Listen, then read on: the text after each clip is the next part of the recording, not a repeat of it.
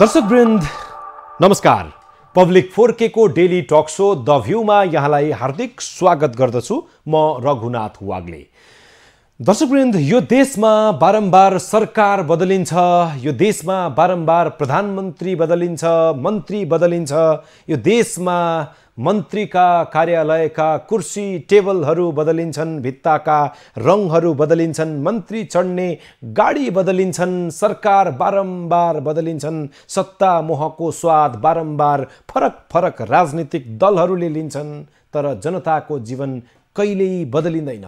लामो समयदेखि आम नागरिकहरूले अस्थिर राजनीतिको यो तितो अनुभव लिइरहेका छन् तर जनताको जीवनमा त्यति धेरै सुधार आएको चाहिँ देखिँदैन। सत्ता समीकरण पछिल्लो समयमा पनि बदलिएको छ। यो बदलिनुमा मुख्य कारक र कारण को अथवा के हुन सक्दछ? सत्ता परिवर्तन भयो सरकार परिवर्तन भयो जनताको जीवनमा के भयो? सरकार परिवर्तन भयो मन्त्री परिवर्तन भए सो वाट भन्नुपर्ने स्थिति सिर्जना भएको छ।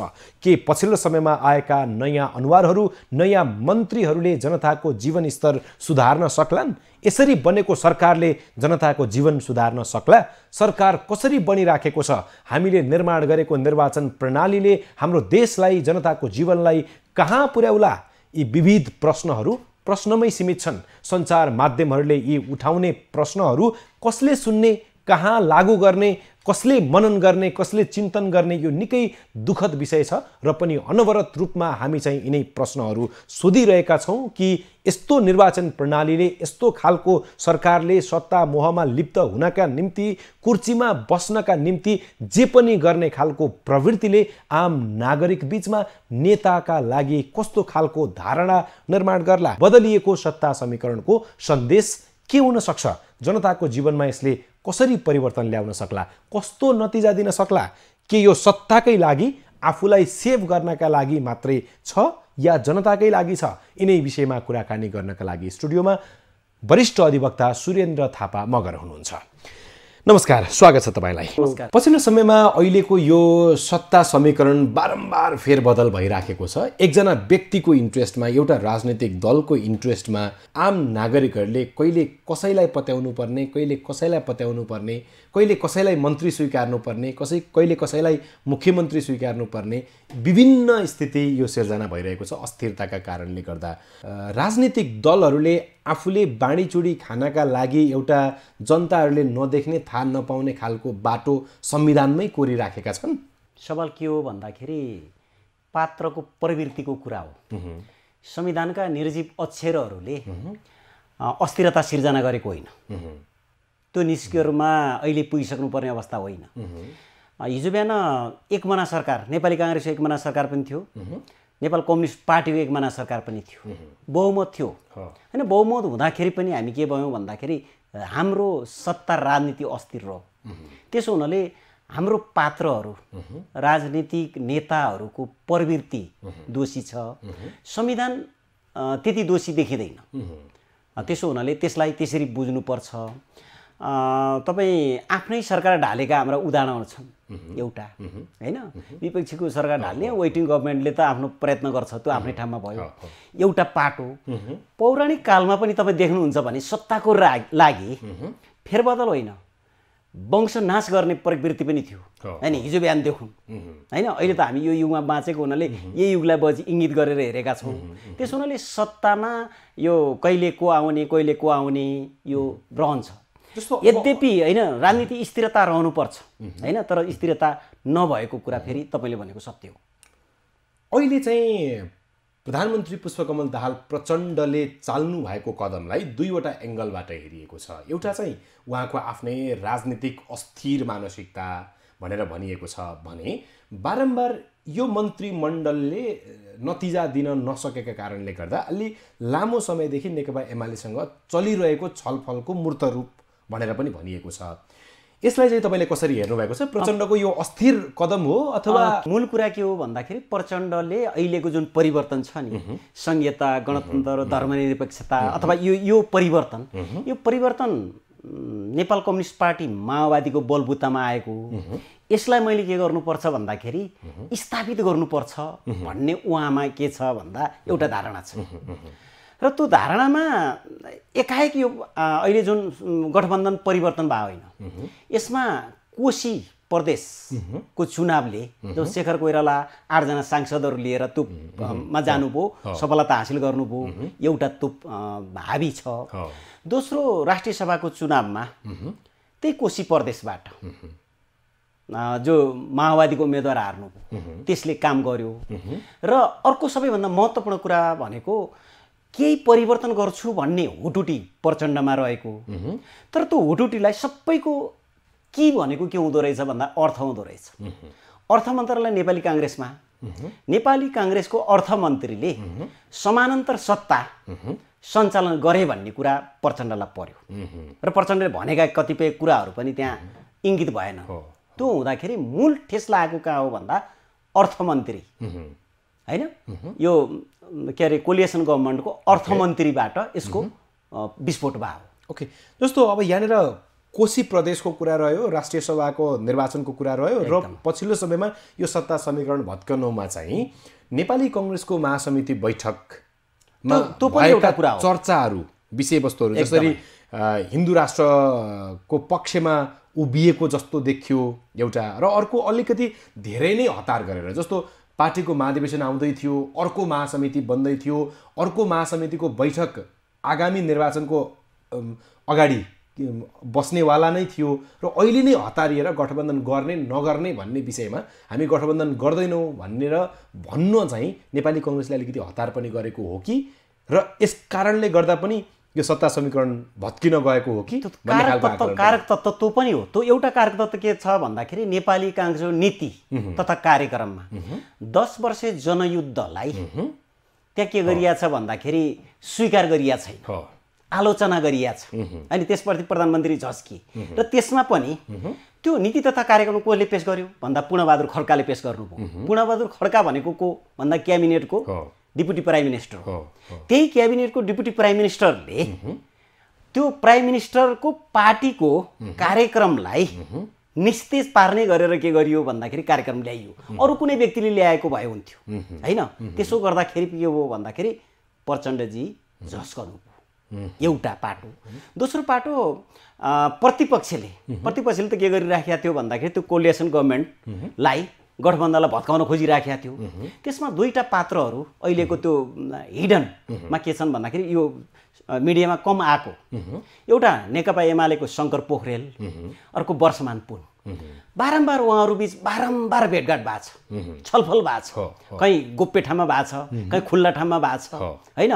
र उहाँहरूले के गर्नु भएको छ भन्दाखेरि केपी ओली नेकपा एमालेको अध्यक्ष केपी ओली र प्रचण्ड बिच भएका मनमुटावहरूलाई धोइ पखारी गर्ने काम उहाँहरूले के गर्नु भएको छ भने गरिरहनु भयो क्या। हो, त्यो कुरो जगतले थाहा पाएन होइन? बाइस पटक भेटभाट छ। होइन कङ्ग्रेसले। पनि थाहा पाएन कङ्ग्रेसले पनि थाहा पाएन त्यो कुरो है? त्यो स्थिति रह्यो। र त्यसको मुख्य के हो भन्दाखेरि यसको यो डिजाइन वर्षमान पुन नेकपा एमालेका महासचिव शङ्कर पोखरेल। ओके।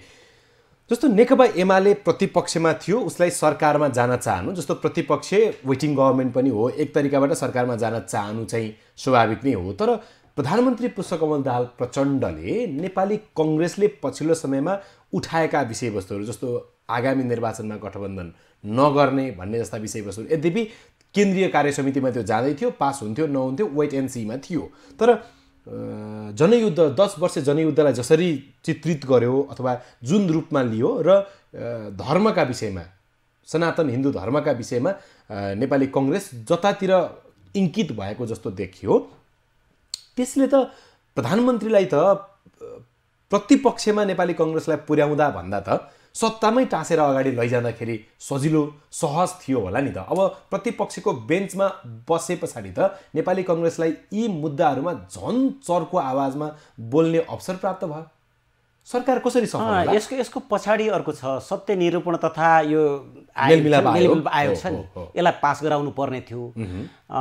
नेकपा एमाले प्रतिपक्षमा रहँदा त्यो पास हुन असम्भव थियो। है बरु नेपाली काङ्ग्रेस प्रतिपक्षमा रहँदाखेरि पास हुन सम्भव छ। त्यो हिसाबले पनि प्रचण्डले हेरेको हुनुपर्छ। होइन त्यसको पाटोको पछाडि त्यो मूल कुरा भन्नुहुन्छ भने केही परिवर्तन गर्छु आर्थिक रूपमै परिवर्तन गर्छु भन्ने प्रचण्डको हुटुटी। तर त्यसलाई ब्रेक कहाँ लगाइयो भन्दाखेरि अर्थमन्त्रीजीले लगाइदिनु भयो।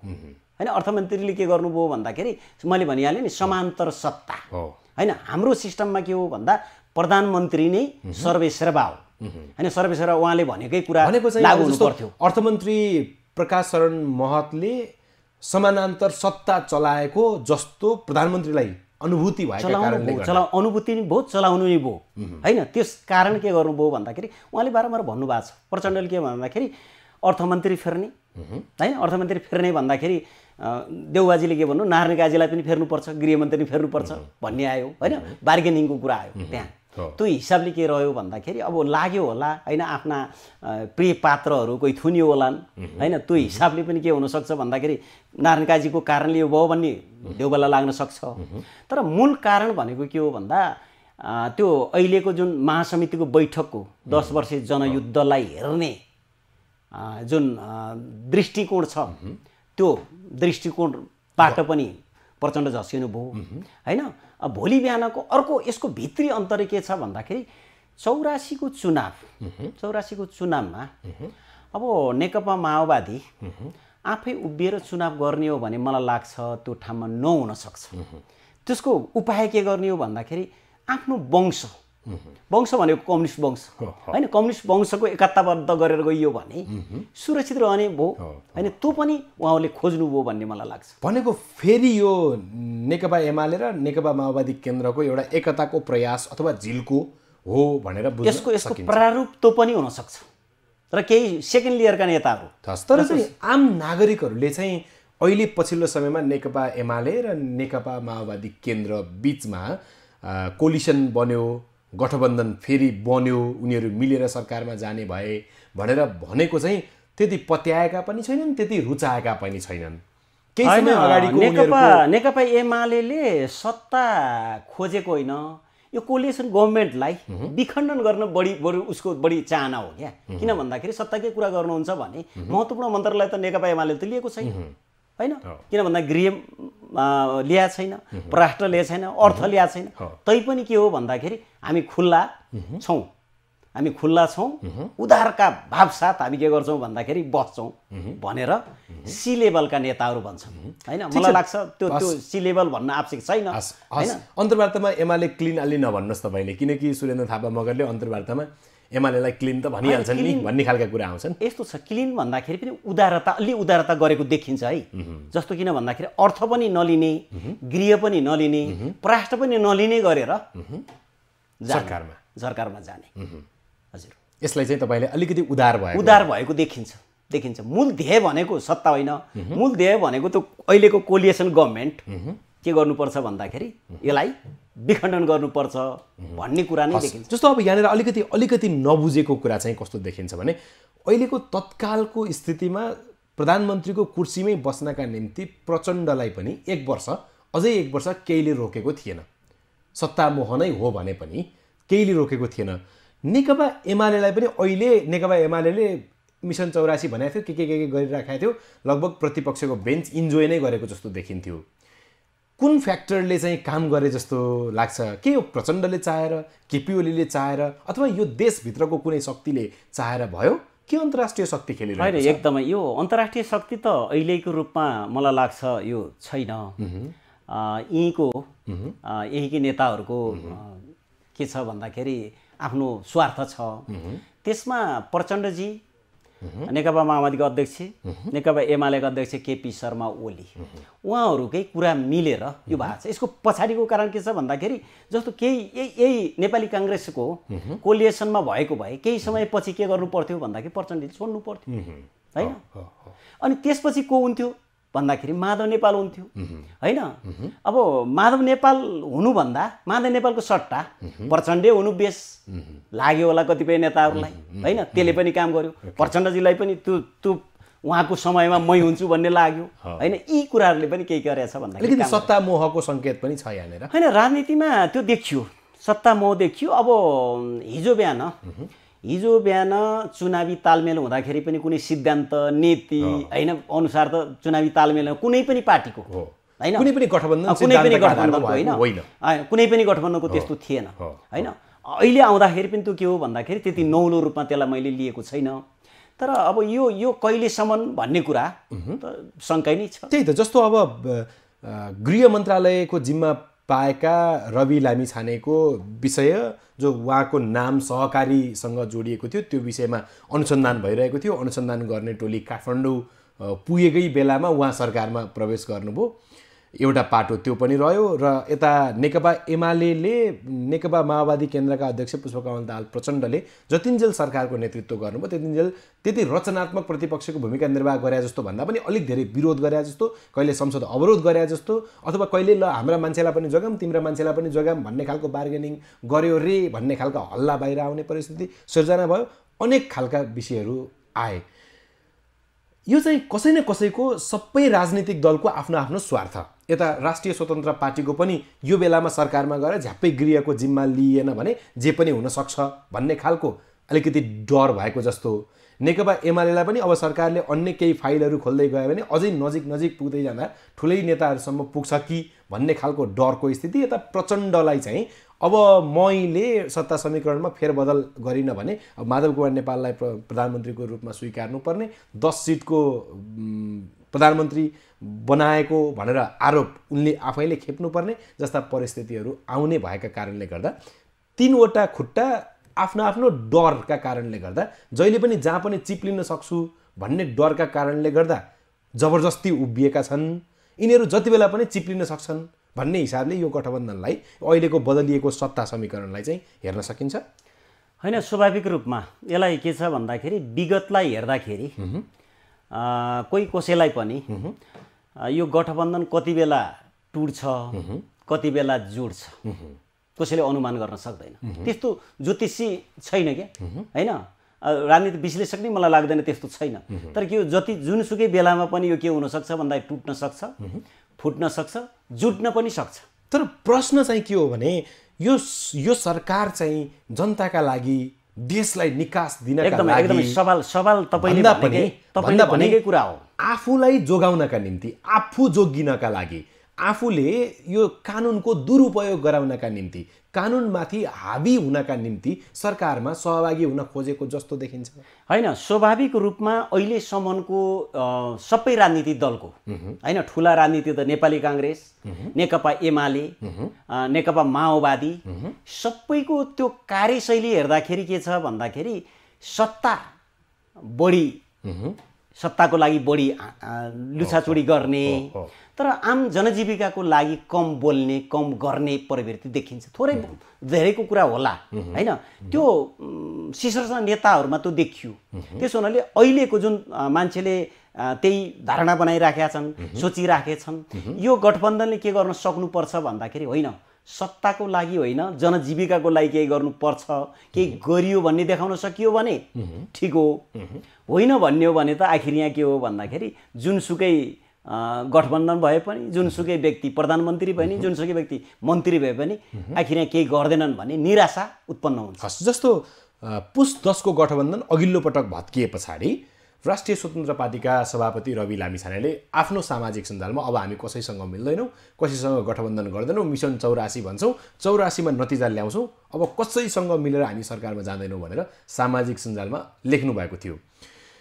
अभिव्यक्ति पनि दिनुभएको थियो। राष्ट्रिय स्वतन्त्र पार्टीका नेता तथा कार्यकर्ताहरूले त्यही भन्दै हिँड्थे। चिया पसलमा त्यस्तै कुरा गर्थे। एकाएक राष्ट्रिय स्वतन्त्र पार्टी यति बेलाको समयमा सरकारमा गयो। यति बेलै रवि लामी छानेको नाम जोडिएको सहकारीको विषयमा गम्भीर अनुसन्धान भइरहेको थियो। के यसरी हेर्न सकिन्छ? अहिले राष्ट्रिय त्यही पर त्यहीँ पर बिहारमा नितीश कुमारले हिजो बिहान इन्डिया भन्ने एउटा गठबन्धन केही। समय अगाडि भनेर बुझौँ हिजो बिहान भन्नुभयो हजुरले फेरि केही समय हिजो बिहान। भनेको केही अगाडि। अगाडि होइन? अब त्यो भाजपासँग कुनै पनि हालतमा। होइन कुनै पनि हालतमा म मिल्दैन बरु ज्यान जाओस् भनेको थिएँ। तर पछि केही दिनपछि उहाँ के गरे भन्दाखेरि त्यो आफ्नो गभर्मेन्टलाई विघटन गराएर त्यही भाजपाकै समर्थनमा सरकार गठन गरे हाम्रो यो प्रवृत्ति के छ भन्दाखेरि दक्षिण एसियामा त्यो पनि छ होइन? अब दुईवटा पाटोबाट हेर्न सकिन्छ यसलाई। एउटा सधैँ शत्रुतापूर्ण व्यवहार गर्नुपर्छ भन्ने पनि होइन राजनीतिमा। होइन राजनीतिमा नगएको ठाउँमा स्वीकार गरेर केपी ओलीले जानुभयो। होइन माधव नेपाललाई पार्टी नै स्वीकार नगरेको ठाउँमा पनि जानुभयो। होइन त्यो नेताहरूको त्यसलाई दुईवटा पाटोबाट हेर्न सक्यो। सत्ताको लागि जे पनि गर्छन् भन्ने एउटा पाटो होइन सधैँ के अरे शत्रुतापूर्ण भावना राख्न हुँदैन। मिल्नुपर्छ। राजनीतिमा स्थायी शत्रु र स्थायी मित्र हुँदैन हुँदैन भन्ने पाटो पनि छ भने यसरी पनि हेर्न सकिन्छ। हामीलाई के लाग्छ भन्दाखेरि नेताहरू हाम्रो देशका नेताहरूले एउटा सबल पक्ष नै भन्नुपर्छ। सधैँ शत्रुतापूर्ण व्यवहार हुँदैन क्या। होइन? फुट्दाखेरि अनेक गाली गलौज गर्ने जुट्दाखेरि फेरि मुख खुल्ला गरेर राम्रो बोल्ने। अब चाहिँ यी प्रत्येक बारीहरूमा प्रत्येक खेतहरूमा चाहिँ गोरु तिनै छन् हलो त्यही छ मात्रै अनौ समात्ने हली फेरिएका छन्। अब हली मात्रै फेरियो भने पनि हलीले हलो जता सोझ्यायो त्यतै जोतिने होला। अहिलेका हलीहरू यसभन्दा अगाडिका हलीहरू जसले जोतिरहेका थिए र अहिले आएका नयाँ हलीहरूको अनुहार फरक छ। यिनीहरूको कार्यशैली कार्य सम्पादनको क्षमता प्रदर्शन गर्ने शैलीमा केही फेरबदल आउला। जनताका निम्ति काम गर्न सक्लान्। के लाग्छ तपाईँलाई? होइन केही केही चेत्नुपर्छ किन भन्दाखेरि केही च्यालेन्जहरू छन्। अब आम नागरिकले केही खोज्या छैन के खोज्या छैन मा ठुलो आन्दोलन खोज्या होइन। होइन। डेलिभरीको कुरालाई पुर्याउनु पर्छ है। अबको भने? किन भन्दाखेरि राजनीतिक अस्थिरताबाट हामी मुक्ति पायौँ। राजनीति स्थिरताको निम्ति समृद्धको निम्ति सबैको एउटा साझा कार्यक्रम गर्नुपर्छ भन्ने चेत पलाउनु पर्छ चेत पलाएन भने उहाँको निम्ति च्यालेन्ज के छ भन्दाखेरि रवि लामी छानेको पार्टी होला अरू कुनै स्वतन्त्र उम्मेदवारको कुरा होला केही झस्काएको छ। होइन? तर ती पात्र नयाँ पात्रहरूको प्रवृत्ति पनि फेरि पुराना दल नयाँ प्रवृत्ति पुराना भयो भने त्यसले पनि खास काम गर्दैन। तर च्यालेन्ज छ। अहिले च्यालेन्ज के छ भन्दाखेरि राजनीति ठुला राजनीतिक दललाई च्यालेन्ज छ। त्यो च्यालेन्जलाई उहाँहरूले बुझ्नुभयो भने त्यो जान्छ त्यो पार्टी स्थापित हुन्छ। होइन बुझ्नु भएन भने भोलि बिहान प्रजा परिषद भएर बस्ने हो। होइन तर दुईवटा ठुला राजनीतिक दलहरू नेकपा एमाले नेपाली काङ्ग्रेस कस्तो भन्दाखेरि त्यो सामाजिक रूपमा पनि स्थापित पार्टी भएको छ क्या। त्यो वार्डमा टोलमा होइन यी दुई पार्टीहरू। होइन? पार्टी मात्र होइन यिनीहरूको। यिनीहरूको के भएको छ भन्दाखेरि सामाजिक रूपमा स्थापित भएको दल भएको छ। तिनीहरूले त्यसरी बुझ्नुपर्छ भन्ने मलाई लाग्छ। जस्तो कहिलेकाहीँ चाहिँ यो यो अस्थिर अवस्था नल्याउनका निम्ति चाहिँ नेपालका राजनीतिक दलहरू चाहिँ अलिकति त्यति जिम्मेवार ढङ्गबाट लागेनन् जस्तो धेरै धेरै सिट प्राप्त गरेका पार्टीहरू नेपाली कङ्ग्रेस र नेकपा एमाले गठबन्धन गरेर सरकार सञ्चालन गरिदिएको भए यो अस्थिरताको स्वरूप आम नागरिकहरूले देख्नु हुन्थेन देख्नु पर्थेन भन्ने खालका विषयवस्तु त आउँछन्। तर फेरि यसलाई पनि सकारात्मक नजरले हेर्ने हो भने कमसेकम अलिक ठुलो सहभागिता भएको एउटा दल प्रतिपक्षमा त छ नि कमसेकम। एउटा प्रतिपक्ष दरिलो हुनु पनि त फेरि सरकारका निम्ति सधैँभरि सजग भइरहनु पर्ने अलिकति आफ्नो ढङ्गबाट अलि हस्तक्षेपकारी भूमिका निर्वाह गर्न सक्ने खालको प्रतिपक्ष भएन भने जे खालका लापरवाहीहरू प्रतिनिधि सभामा हुन सक्छन् ती खालका कुराहरू हुँदैनन् भन्ने कुराबाट देश सुरक्षित त छ नि कमसेकम। यो अस्थिरताबाट पनि सकारात्मक नजरले हेर्न यो सकिन्छ? सकिन्छ। स्वाभाविक रूपमा सकिन्छ त्यसलाई।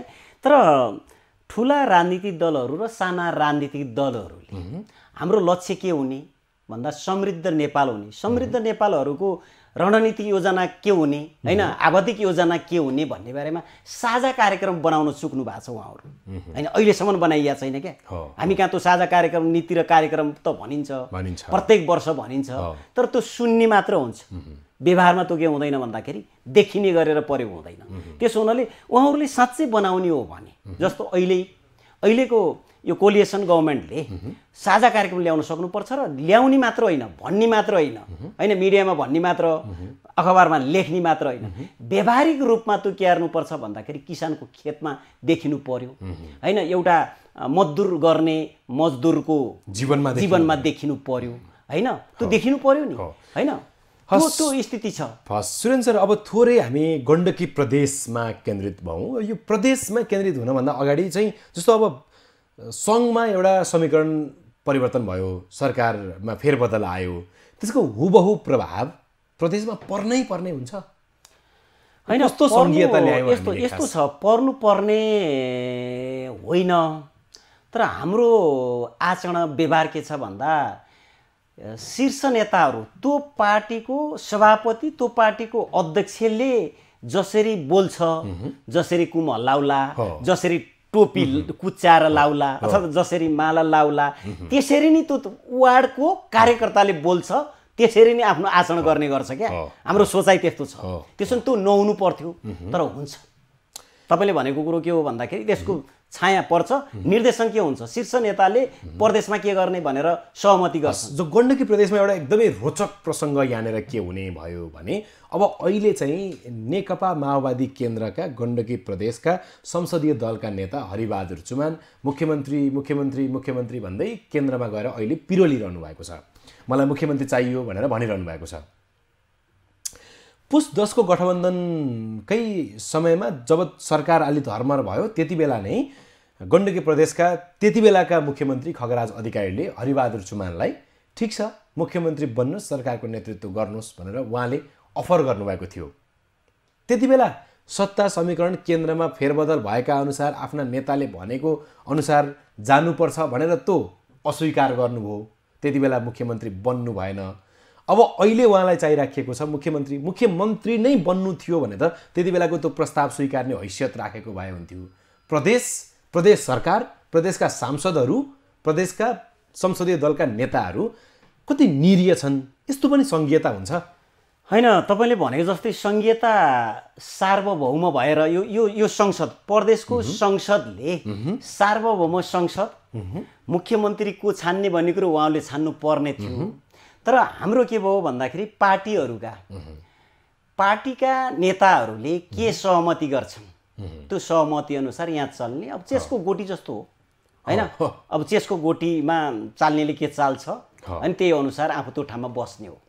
हाम्रो प्रवृत्ति त त्यही छ नि। त्यो रहन्छ। चेस खेले जस्तो चेस खेले जस्तो। चाल्नी माथिबाट हो। माथिबाट। तल चालिन्छन् अँ, चालिन्छ। तपाईँलाई के लाग्छ? मुख्यमन्त्री को बन्ला गण्डकी प्रदेशको? होइन अहिले अब यस्तो छ तरलता स्थिति छ।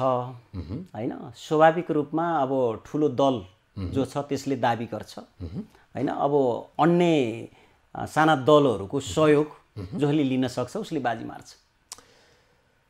हामीले गण्डकी प्रदेशमा यही सत्ता समीकरण फेरबदल भए अनुसार नै नयाँ सरकार पाउँछौँ होला कि गण्डकी प्रदेश त अहिले अलिक खतराजनक स्थितिमा छ अर्को निर्वाचन होला। होइन सातै संविधानले सातै प्रदेशमा अब अहिले केन्द्रमा जो गठबन्धन छ गठबन्धन अनुसारको खाका तयार हुन्छ फेरि। है? प्रत्येक प्रदेशमा को को रहने अनि कुन प्रदेशमा को मुख्यमन्त्री बनाउने भनेर मलाई लाग्छ एक दुई दिनपछि नेताहरूले त्यो खाका कोर्नुहुन्छ तर गण्डकी प्रदेशमा अलिक सजिलो छैन कि अहिलेको अवस्थामा? छैन। जस्तो राष्ट्रिय प्रजातन्त्र पार्टीका दुईवटा समानुपातिक सिट चाहिँ अलिक धेरै चर्चामा छन्। अलि ती दुईवटा सिट हिट छन् भनौँ न। राष्ट्रिय प्रजातन्त्र पार्टीलाई संलग्न गराएन भने सरकार बनाउन असम्भव छ गण्डकी प्रदेशमा। होइन यो तपाईँले भने जस्तै यो असम्भव के रह्यो भन्दाखेरि हामी सिद्धान्त विचार दृष्टिकोणमा कहिले पनि हिँडेनौँ। गणितमा हिँड्यौँ। हाम्रो राजनीति भनेको गणित। होइन गणित पुर्याउने सत्तामा जाने। सत्ता चलाउने। होइन त्यो सत्ता के को लागि चलाउने भन्दाखेरि कार्यकर्तालाई पोषण गर्नको लागि चलाउने भन्ने नि भएको छ। हो, होइन? यस यो यो प्रवृत्ति यो धारणालाई चेन्ज गर्न त त्यही त जस्तो जस्तो यहाँनिर चाहिँ यो सन्दर्भमा अब सिद्धान्तमा हिँड्ने हो भने त सरकार नबन्ने भयो। गणितमा हिँडे सरकार बन्ने भयो। सिद्धान्तमा हिँड्ने हो राष्ट्रिय प्रजातन्त्र पार्टी जस्तो सङ्घीयता विरोधी यो व्यवस्था विरोधी पार्टी जसले अहिले आन्दोलनको घोषणा गरेको छ। चालिस बुधे माग लगाएर त्यहाँनिर तेर्स्याएको छ। अब त्यो चालिस बुधे मागमा टाउको घुसारेर ल आइदिनु पर्यो सरकार चलाउनका लागि भनेर राष्ट्रिय प्रजातन्त्र यस्तो छ नि। राजेन्द्र लिङ्गदेल केन्द्रीय सत्तामा गएको होइन र। हो नि उप प्रधानमन्त्री भएको हो नि। होइन त्यसपछिका अन्य ठाउँ पनि हेर्नुभयो भने कहीँ सभामुख भएको छन् हो। है कहीँ मन्त्री भएको छन्। होइन त्यसो हुनाले अब त्यो राष्ट्रिय प्रजातन्त्र पार्टी भन्नुहोस् अथवा नेपाली काङ्ग्रेस भन्नु नेकपा एमाले भन्नुहोस् माओवादी भन्नुहोस् सिद्धान्तभन्दा सत्ता केन्द्रित राजनीति बढी के छ भन्दा हाबी छ। यो समयमा चाहिँ राष्ट्रिय प्रजातन्त्र पार्टीले कस्तो भूमिका निर्वाह गर्नुपर्छ खास? अब यस्तो छ राष्ट्रिय प्रजातन्त्र पार्टी मलाई लाग्छ उहाँहरूको एउटा राजनीतिक दल हो स्वाभाविक रूपमा होइन? यो अहिलेको हाम्रो असङ्गठित जमात छ क्या समाजमा। सबैभन्दा डरलाग्दो स्थिति के छ भन्दाखेरि असङ्गठित विद्रोह। हुन्छ कि भन्ने डर छ हाम्रो समाजमा हेर्नुहोस्। असङ्गठित सङ्गठन। असङ्गठित सङ्गठन भनौँ असङ्गठित विद्रोह होइन? त्यो असङ्गठित विद्रोह हुन्छ कि भन्ने बहुत सम्भावना छ। त्यसलाई राजनीतिक दलले सोच्नुपर्छ। अब राप्रपा आफ्नो मान्यतामा अडिक छ मलाई लाग्छ राप्रपा एउटा पाटो हो। अरू अरू राजनीतिक दल एउटा राप्रपा एक। एकातिर हो क्या? होइन त्यसो हुनाले त्यो रूपमा यसलाई हेर्नुपर्छ। अब उहाँहरूको सिद्धान्त विचार भोलि बिहान के होला त्यो आफ्नै ठाउँमा हो। अहिले उहाँहरूले भने जस्तो गरेर नेपालमा राजतन्त्र फर्कने अथवा हिन्दू राज्य स्थापित हुने हिन्दू राष्ट्र। हिन्दू राष्ट्र स्थापित हुने स्थिति मैले देख्दिनँ होइन? त्यो तर स्थिति के देखियो भने अब राष्ट्रिय प्रजातन्त्र पार्टी फेरि गण्डकी प्रदेशको विषयलाई लिएर हेर्दाखेरि चाहिँ फेरि सरकारमा सहभागी हुन्छ। सम्भवतः दुईवटै समानुपातिक सांसदहरू मन्त्री बन्छन् होला। अब त्यो त्यही हो जसरी पनि सत्तामा रहने जसरी पनि सरकार बनाउने र उहाँहरूले जे जे माग्नु भएको छ त्यो दिने। यो यो यो नयाँ पनि होइन हिजो बिहान नेपाली काङ्ग्रेस र नेकपा एमाले सूर्यबहादुर थापालाई प्रधानमन्त्री मानेर लोकेन्द्र चन्दलाई प्रधानमन्त्री मानेर गएका हुन् बसेका हुन् सरकारमा रहेका हुन्। तर यस कारणले गर्दा पनि यहाँ जे पनि गरिदिने जोसँग पनि मिल्दिने राजनीतिलाई सिद्धान्तका रूपमा भन्दा गणितका रूपमा हेर्ने सङ्ख्या पुर्याउने सरकार चलाउने सत्ता मोहमा त्यहाँ त्यतै भुल्ने जनता बिर्सने खालको प्रवृत्ति देखेको कारणले गर्दा आम नागरिकहरूले नेतालाई उही राष्ट्रिय प्रजातन्त्र पार्टीका अध्यक्ष राजेन्द्र लिङ्गदेनले प्रयोग गरेको वर्ड जनताहरूले पनि प्रयोग गर्छन्। कोट अन कोट त्यो वर्ड यहाँनिर मैले प्र प्रनाउन्स मात्रै गरिनँ तर सबैले बुझ्ने तरिकाले भने। त्यसलाई चाहिँ मलजल गर्ने काम नेताहरूले गरिरहेछन् कि? गरेका छन् स्वाभाविक रूपमा निष्ठाको राजनीति छैन। अब राजनीतिक दलले पनि के गरे भन्दा राजनीतिक दलले राजनीतिक दल चलाए जस्तो देखिँदैन। इन्सुरेन्स कम्पनी चलाए जस्तो। एजेन्टहरू नियुक्त गर्ने। होइन? होइन? लाभांश दिने। होइन? त्यो गर्छन् नि। होइन? राजनीतिक दलका के हुनु पर्थ्यो भने कार्यकर्ता हुनु निष्ठावान कार्यकर्ता हुनु पर्थ्यो। निष्ठावान कार्यकर्ताको योग्यता क्षमताको कदर हुनु पर्थ्यो। होइन? त्यो छैन। अब कुनै तपाईँले- पनि राजनीतिक हस्, दलमा तपाईँले एउटा चिज चाहिँ आम नागरिकले बुझ्न पर्ने कुरा भनिदिनुहोस् त। यो समयमा प्रधानमन्त्रीले चालेको कदम सही कि गलत कि दुवै भन्न सकिँदैन? होइन स्वाभाविक रूपमा के छ भन्दाखेरि प्रधानमन्त्रीले केही म परिवर्तन गर्छु त्यो परिवर्तन कहाँबाट गर्नुपर्छ भन्दा आर्थिकबाट गर्नुपर्छ। आर्थिक पाटोको चापी अर्को राजनीतिक दलको नेतासँग रह्यो मन्त्रीसँग रह्यो उसले भनेको मान्दैन। भनिसकेपछि त अब चेन्ज गर्नु बाहेक अर्को विकल्प थिएन। त्यही हो उहाँले भन्नुभएको घेराबन्दीमा मलाई पार्यो भने म लात्ताले हानेर पनि पन्छिन शब्द शब्द उहाँले प्रयोग गरेको शब्द राजनीतिक दलको एउटा उच्च स्तरीय नेताले प्रयोग गर्ने शब्द मलाई लाग्दैन त्यो एप्रोप्रिएट भएन। होइन? तर हेर्दा चाहिँ उहाँलाई घेराबन्दीमा पारिएका कारणले गर्दा लात्ताले हानेर हिँडेको जस्तो चाहिँ देखियो। देखियो। यो प्रचण्डले नेपाली कङ्ग्रेसलाई लात हान्नुभएको हो। होइन त्यस्तो होइन। यसको प्रारूप के हो भन्दाखेरि घुम्दै फिर्दै जाँदाखेरि त्यो एकैचोटि परिणाम निक्लने होइन नि कुनै पनि चिजको। त्यसको भित्री पाटोहरू बन्दै जान्छ क्या। पानी त उम्लँदाखेरि सुरुमा त एक डिग्री दुई डिग्री गर्दै उम्लने हो नि। त्यो हन्ड्रेड डिग्रीमा देखिसकेपछि त उम्लेको देखिन्छ। हिजो बिहान कोसी थियो। हिजो बिहान के अरे अर्को कुनै कर्णाली प्रदेशका केही कुराहरू थिए। होइन लुम्बिनी प्रदेशका केही कुराहरू थिए। राष्ट्रिय सभाको चुनाव थियो। होइन राष्ट्रिय सभाको अध्यक्षका कुरा थिए। लगायतका कुराहरूको सम्मिश्रणको पुञ्ज हो यो अहिलेको जुन गठबन्धन। ओके।